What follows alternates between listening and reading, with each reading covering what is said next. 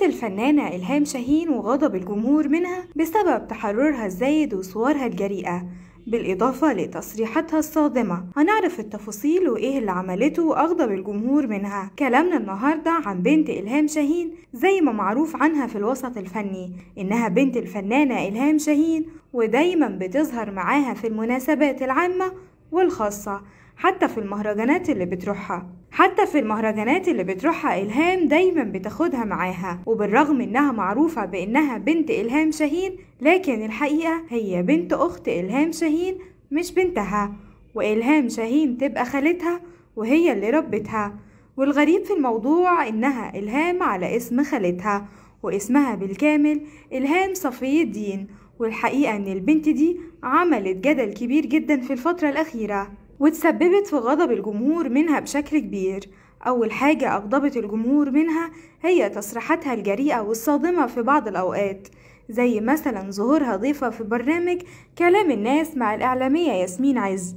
وقتها سألتها ياسمين عز إذا كان عندها استعداد تعمل أدوار إغراء فيها بوس وأحضان وحاجات زي دي فردت عليها بكلام صادم وقالت إن ما عندهاش أي مشكلة تعمل الأدوار دي طالما إن ده هيكون في سياق الرسالة اللي بتتقدم والحقيقة أنا مش عارفة يعني إيه في سياق الرسالة وإيه هي الرسالة اللي هتكون في مشاهد من النوع ده. تاني حاجة أغضبت الجمهور منها هو لبسها وصورها الجريئة اللي بتنشرها على حسابها في الانستجرام والحقيقة هي بتنشر صور جريئة جدا وأحيانا بتكون صادمة وكله كوم وظهورها مع خالتها الفنانة إلهام شاهين من كام يوم في مهرجان الدراما كوم تاني.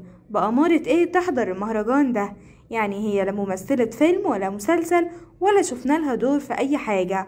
والحاجة الوحيدة اللي تخليها تحضر مهرجان زي ده هو إن خالتها إلهام شاهين.